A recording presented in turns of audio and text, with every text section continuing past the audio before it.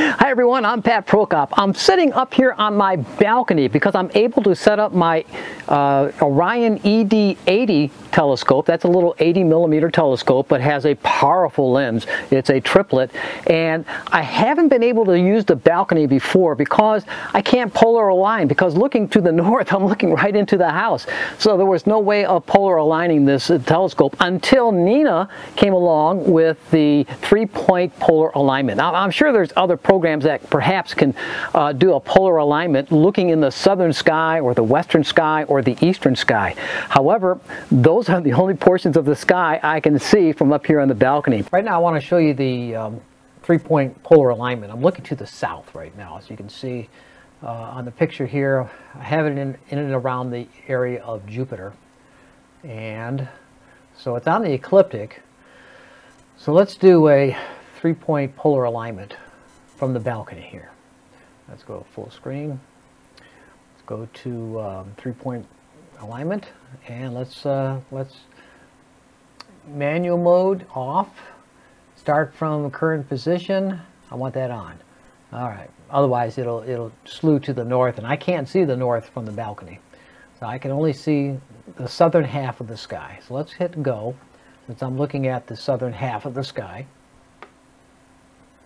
So it's going to take its first picture and do a um, plate solve, and found it. It's going to take a second picture and do a plate solve for reference and solved it. All right, now it's doing the third point and it's going to tell me how much I'm off. Let's see. All right, it's doing its calculation and I'm off a little bit by the altitude. 11 minutes. The uh, azimuth is only off by one minute. So let's uh, let's move it a little bit. I want to move to the east and I want to move it up a little bit. So I'll, I'll do that right now.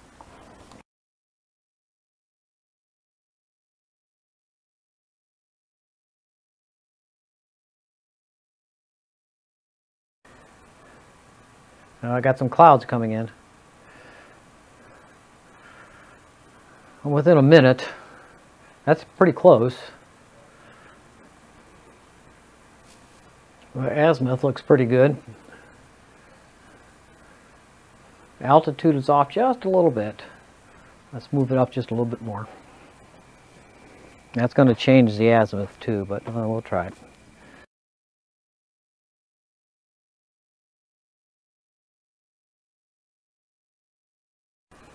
All right, we'll keep it at that. That looks pretty good good enough for what I need. And there's the polar alignment, supposedly anyway, looking toward the south, southwest actually. I'm happy with this.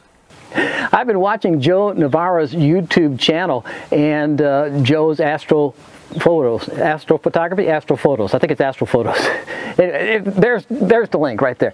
And he was talking about the Pleiades, uh, how he was uh, shooting the Pleiades, and he, he he saw something that caught his eye.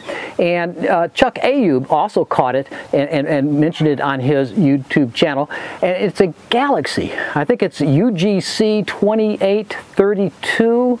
Uh, there's the number right there. Oh, and speaking of Joe Navarro, I got my NASA cap on, Joe. You see that? Yes, sir.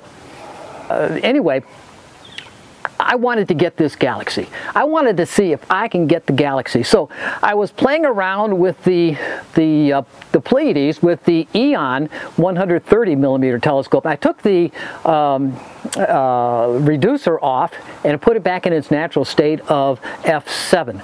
Uh, but to get the entire nebula, I had to do two panel. Uh, and once again, I did that from NINA. I did a two panel uh, mosaic and then I stitched them together in Photoshop.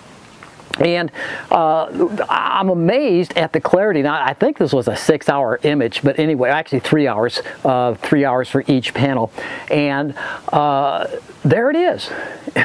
Look at that. The uh, galaxy uh, there on the upper, off to the right of the upper portion of the Pleiades, that galaxy is about 300 million light years away. Can you imagine that? That galaxy is about 300 million light years away.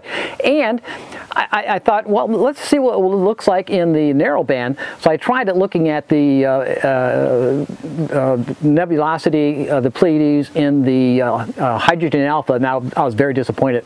Uh, but I did look at it in the luminance with the black and white camera, the 1600, the ASI 1600. And off to the right of the first galaxy, I found another galaxy. It looks like it's even further away, perhaps 350 million light years away. But anyway, there you have it uh, with that. So, you know, a lot of things going on right now. And tonight, um, as I'm uh, recording this video, uh, the moon will be eclipsed. And uh, I'll be able to see it here in Savannah. However, there's clouds up in the sky right now, and uh, I might be interfered with that. I'm going to give it a shot anyway. Uh, it should peak out about 4 o'clock in the morning, or the maximum eclipse. It's almost going to be a total uh, lunar eclipse at 97% uh, eclipse. Um, hopefully I'll have a picture of that, or several pictures of the moon eclipsed uh, at the end of this video images, I want to show you a few things I've been working on. Uh, just last night through the clouds, I was able to get just 20 minutes worth of the Horsehead Nebula. And it, it came out pretty good for 20 minutes. Now, one of the things about this is the processing software that I've been using. I was watching Luke of uh, Lukomatico, uh, his uh, website, or uh, YouTube channel, rather, and uh, he's talking about a software program called Topaz, and it's called AI denoise. So I, I, looked at it and I said, you know, that looks pretty interesting, so I'm going to try it. Well, yeah, I tried it and I liked it so much I bought it. And let me show you some of the results from this thing. It's amazing how much clearer I can get an image by using this software and it connects directly into my Photoshop so I can edit straight from Photoshop into the Topaz uh, denoise uh, software. And uh, look at the examples here, you know, going from one to the next. Here, it is before and here it is after. See how much cleaner it is? Well, anyway, I've been using that so uh, helping with some of my processing, getting a little bit clearer image, particularly in that background noise, uh, which is always a problem for us. And to Luke in England, cheers! Hmm. But uh, other projects I've been looking at is are the uh, different uh, uh, uh, objects coming up in the eastern sky now uh, over in the eastern sky after midnight, and particularly in the Orion area. There's a lot of activity. I just showed you the, the Horsehead Nebula. But also, uh, I want to show you the uh, the Rosette Nebula. Uh, I've been working on that in narrowband, and also I'm um, looking at another project. of course, the Orion Nebula. Everybody has to see the Orion Nebula. And for beginner uh, astronomers uh, and astrophotographers, this is the best thing to start working on uh, other than the moon. But uh, the Orion Nebula is just, it's an amazing uh, type of uh, deep space object. Actually, it's not all that deep. It's relatively close at about a thousand and a half light years away. but anyway, you got the Orion Nebula, you got the Horsehead Nebula, you got the Rosette Nebula, all in that area of of Orion. There's you know, a lot of nebulosity uh, even between these targets. Uh, so, you know, give that a try. Well, it's morning and I had a little bit of sleep. I got my coffee now to get me going, but I was able to get the eclipse. And I had to fight for it because I had a lot of clouds passing across the uh, region throughout the night. But the sky did clear during the maximum portion of the eclipse right there at 4.02 in the morning. So I'm very pleased with that. And uh, I got just about the entire eclipse going from the beginning to the maximum. So enjoy the pictures and again, thanks for watching. So I rambled on quite a bit for this one, but uh, uh, remember the heavens are filled with majestic glories. Oh man, they're just loaded with majestic glories all over the place. Anyway, I hope you have a chance to get out and look at the uh, sky. Uh, hopefully you got a, a, a, view of the lunar eclipse if you're in North America. And uh, uh, you know, the winter time is coming and the sky is just filled with all these wonders and all in a sky near you. So unless you need rain, Clear skies, everyone.